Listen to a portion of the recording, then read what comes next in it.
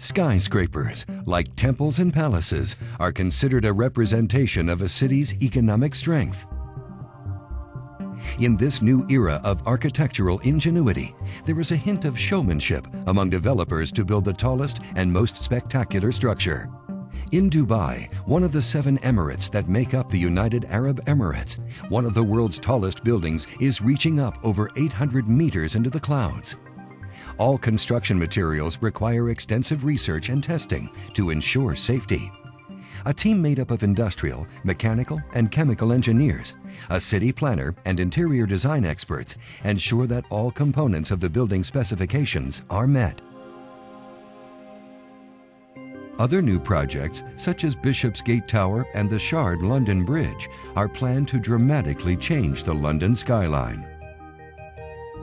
Kuwait, another country building a whole city, the City of Silk, will showcase a tower reaching 1,001 meters high. Between planning, raising funds, and construction, there is extensive work to be done.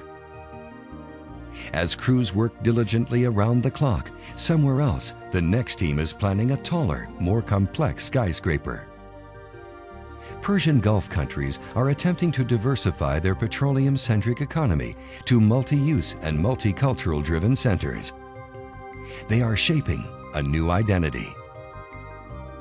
In the future, architects and engineers will work together to advance the stability, efficiency, and technology of skyscraper construction.